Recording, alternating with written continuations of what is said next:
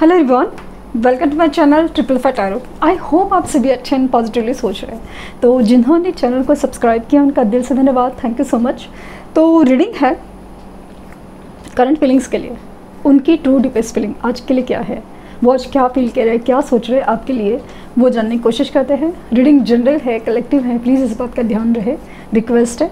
तो reading start करते हैं विद पॉजिटिव नोट कि आज की उनकी फीलिंग्स क्या है आपके लिए?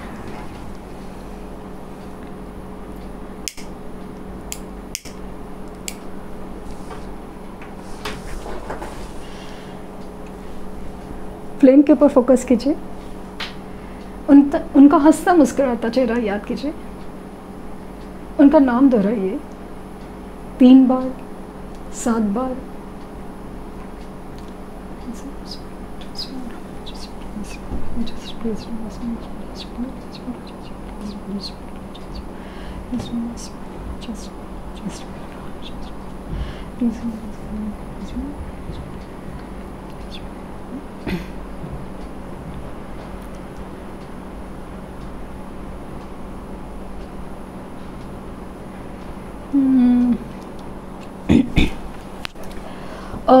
आपके आसपास, मुझे आपके आसपास है ना कोई एनर्जी है जो आपके लिए ना नेगेटिव सोचती है? जान के या अनजाने से?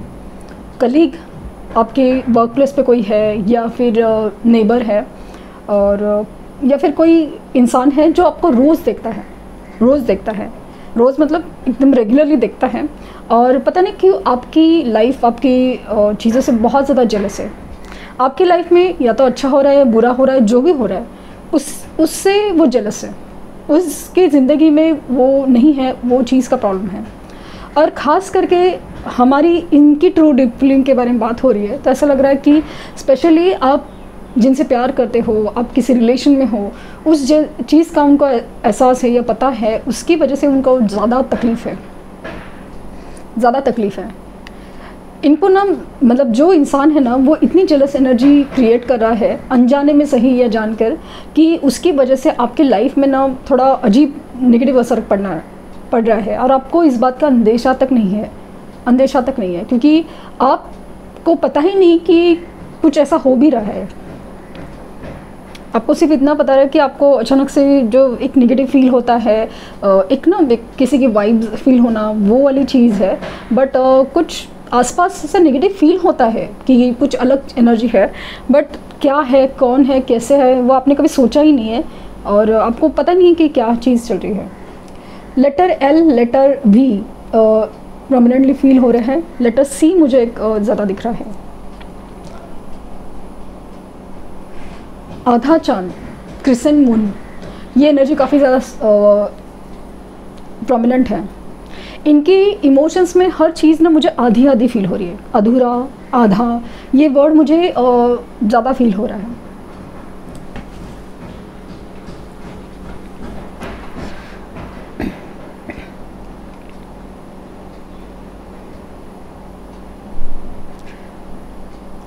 इनके और आपके बीच में ना डिफरेंसेस हैं। एज के हो सकते हैं, सोच के हो सकते हैं। ये दो चीज़ मुझे बहुत ज़्यादा फील हो रही है। एज और सोच। एक कोई और डायरेक्शन में सोचता है हमेशा, या उनकी सोच वैसी है आपकी सोच ऐसी है, और एज की वजह से कुछ डिफरेंसेस हैं। इंसान है ना, एक एक लेवल पे सोच ही नहीं पा रहा है। एक लेवल पे अभी तक नहीं है। एक इमोशंस है, एक प्यार है, ये दोनों के बीच में कॉमन है। ये दोनों के बीच में कॉमन है। कितना भी हो प्यार वही है। लेकिन जो प्रैक्टिकल लेवल पे होना चाहिए, उसमें ही चीज़ें मात खा रही आपके कुछ एक्सपेक्टेशन से और इनके कुछ एक्सपेक्टेशन से वो मैच ही नहीं हो पाते। मान लीजिए कि मैरिज कमिटमेंट की बात है तो इनकी कुछ अपनी सोच है, अपने प्रॉब्लम्स है, मजबूरियाँ हैं और आपकी अपनी सोच है।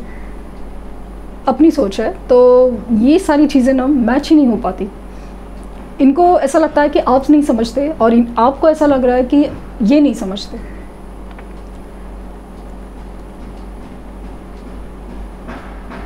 एक और जगह इस रिश्ते में इम्बैलेंस है, वो है प्यार के मामले में इमोशंस के मामले में।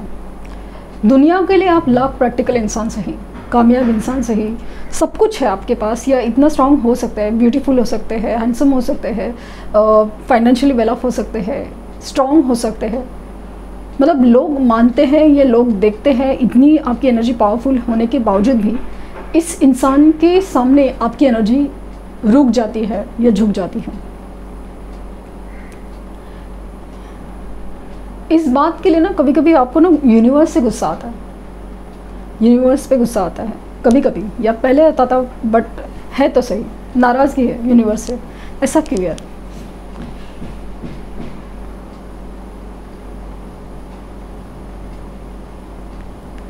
प्यार में इम्बैलेंस है और ख़ास करके आ, कैसा है ना कि ये प्यार आपकी तरफ़ से ज़्यादा है या अभी तक ज़्यादा है।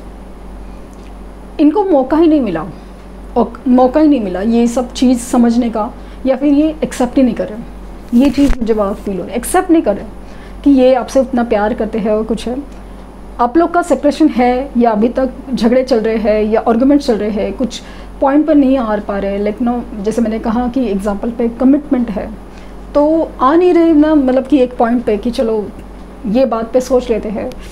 तो ऐसा लग रहा है ना कि आपकी एंग्जाइटी बढ़ती जाती है, आपका इरिटेशन बढ़ते जा रहा है, आपका गुस्सा बढ़ते जा रहा है। लेकिन ये इंसान है ना, वो डिसीज़न नहीं ले पा रहा है। ये सोच नहीं रख पा रहा है।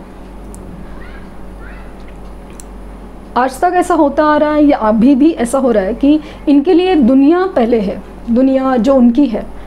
ये ये इंसान मुझे ऐसा लग रहा ना, अपनी दुनिया में प्रायोरिटी देने वालों में से है।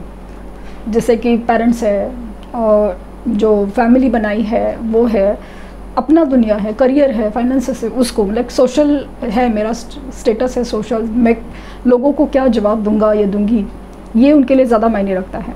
और आप कम्प्लीटली अपोजिट है, कि आपके पास सब कुछ होते हुए भी या आप सब कुछ छोड़ सकते हैं इंसान के लिए, इस इंसान के लिए। इतनी आपकी ताकत है दुनिया से लड़ सकते हैं। लेकिन यही सब चीज़ें क्वालिटी है ना, इनमें या तो बहुत कम है, या तो नहीं के बराबर। इस बात का दुख है ना सब आपसे, आपको आपको ही पता होगा कि इस बात से कितना दुख होता है, कि जिस इंसान को आप इतना दिल से, इतना तड़प के चाहते हो, वो इंसान आपके लिए उतना स्टैंड नहीं ले सकता, नहीं हो सकता।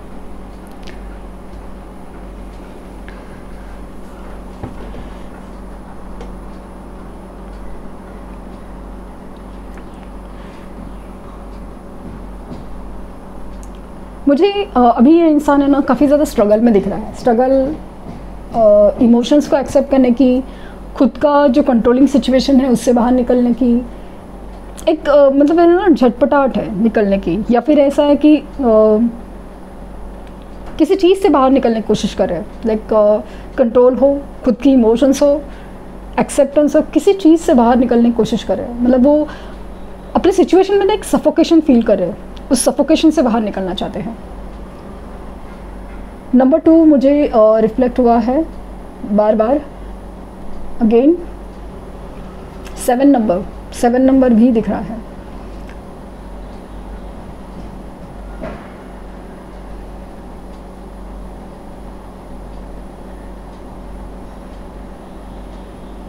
थ्री थ्री नंबर भी मुझे बार बार दिख रहा है। और थर्ड पार्टी इश्यूज़ है ना, वो है स्ट्रॉन्ग है। जो भी अभी तक हो, हुआ है मतलब प्रॉब्लम प्रॉब्लम हुआ है या फिर अभी तक प्रॉब्लम अगर सॉल्व नहीं हो रहा है तो थर्ड पार्टी की वजह से ही चीज़ें रुकी हुई ऐसा मुझे फील हो रहा है। फोर नंबर उनका हो सकता है birth number life path number और मुझे जेड लेटर दिख रहा है Z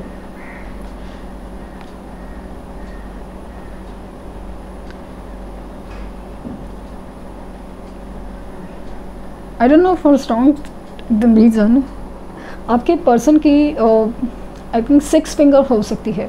जो छः उंगलियाँ होती ना, हो सकती है। पता नहीं क्यों अचानक से मुझे फील हुआ। ए लेटर हो सकता है उनका। आर हो सकता है। आर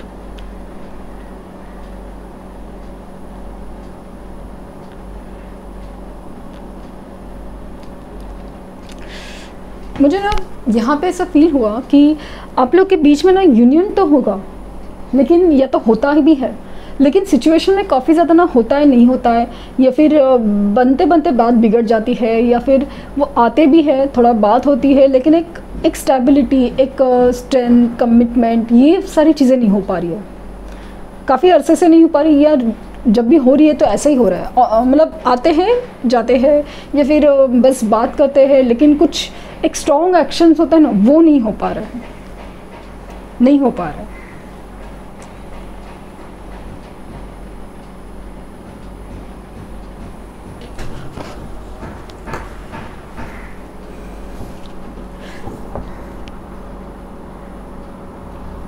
वो जो एक अननफ सिचुएशन जो फील हुए रहे ना मुझे वो काफ़ी हद तक ऐसा है ना कि ये काफ़ी हद तक आपके हाथ में है।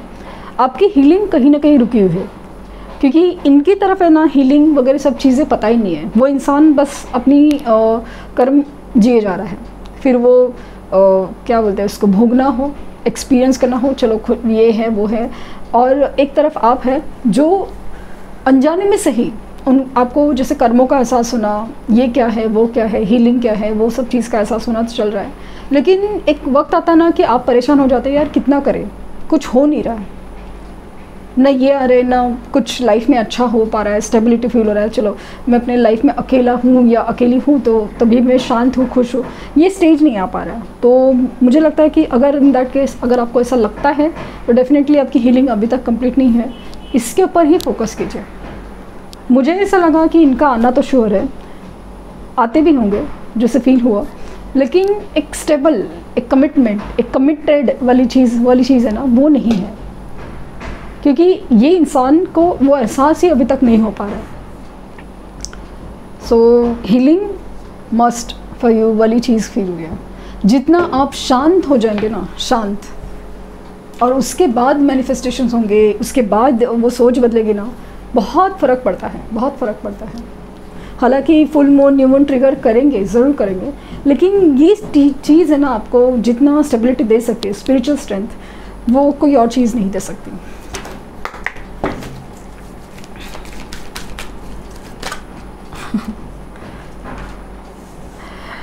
harmony power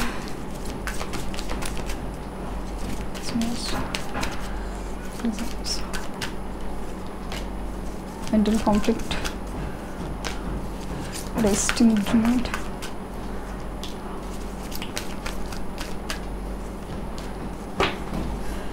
कि पेशेंस सो यहाँ पे ना ऐसा है कि पेशेंस बहुत ज़रूरी है. पेशेंस स्ट्रेंथ इनर स्ट्रेंथ इस इंसान की ज़िंदगी मैंने कहा ना, एक मेंटल कॉन्फ्लिक्ट एक अजीब सा खिंचा मतलब एक किसी चीज़ से बाहर निकलना चाहते हैं. वो है मेंटल कॉन्फ्लिक्ट समझ नहीं आ रहा है। क्या है? एक्सेप्ट करना है, नहीं करना है, कैसे होगा? फील तो होता है, कैसे करें? और यहाँ पे ऐसा लग रहा है ना, उनकी भी हीलिंग रिक्वायर्ड है।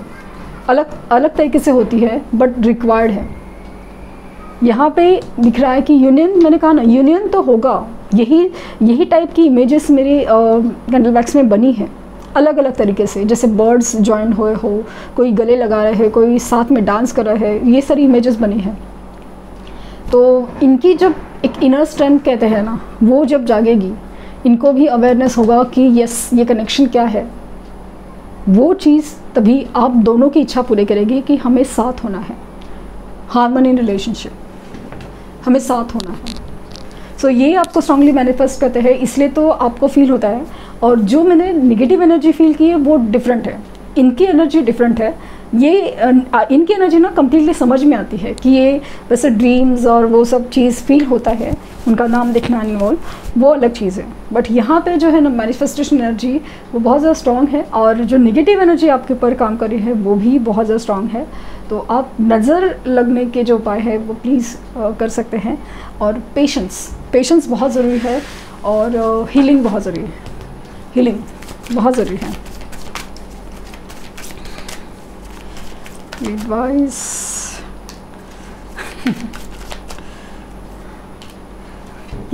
सी क्या है? Friendship and union and joy and contentment so जैसे मैंने फील किया यूनियन हो, होगा ही और होता ही आया है बट उसमें ना एक स्टेबिलिटी मिसिंग है। वो तभी होगा और ये जॉय एंड कंटेनमेंट वो जो एक फुलफिलिंग है ना मतलब वो जो स्टेबिलिटी वो जो हीलिंग आप में जब होगी ना एक तो पहले आप अपने आप में कंप्लीट फील करोगे और जब वो इंसान आएगा ना, वो फील करेगा कि वो अलग ही जोन में है। वो आपसे फिर वो अट्रैक्ट नहीं होगा, वो अटैच होगा। वो मुझे जैसे फील हो रहा है। तो ये थी रीडिंग आई होप आपको कुछ गाइडेंस मिली हो। लाइक शेयर सब्सक्राइब करना ना भूले। पर्सनल रीडिंग के लिए लिंक डिस्क्रिप्शन बॉक्स में है। प्लीज़ कोई फेक कमेंट का जवाब ना दे। Thank you newers thank you newers thank you newers